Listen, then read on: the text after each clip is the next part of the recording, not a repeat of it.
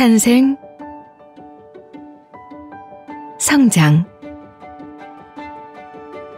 입학과 졸업.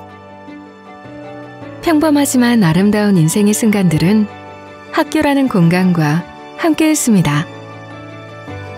하지만 우리 아이들이 다치면 보살핌이 필요하듯 교육시설 또한 지속적인 관리와 보살핌이 필요합니다.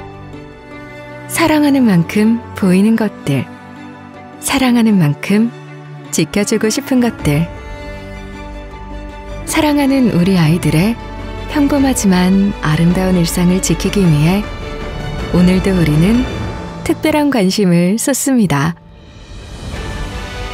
안전하고 편안한 교육 환경.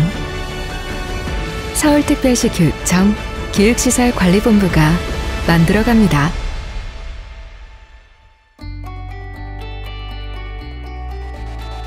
탄생과 성장의 시기를 지나 나이가 들어가면 건강관리가 필요하듯 오랜 세월을 견딘 교육시설 또한 체계적이고 전문적인 관리가 필요합니다.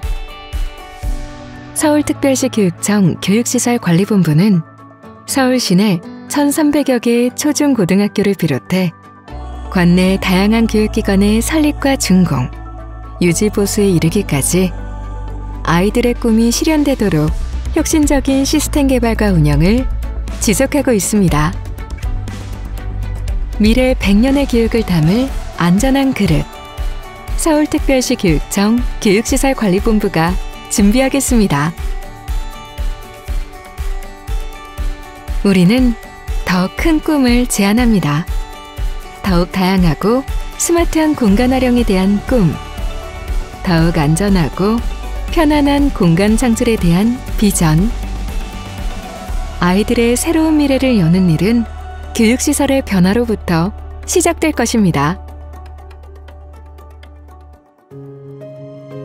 우리는 변화하는 시대에 맞게 미래 교육 환경을 고민하고 연구합니다.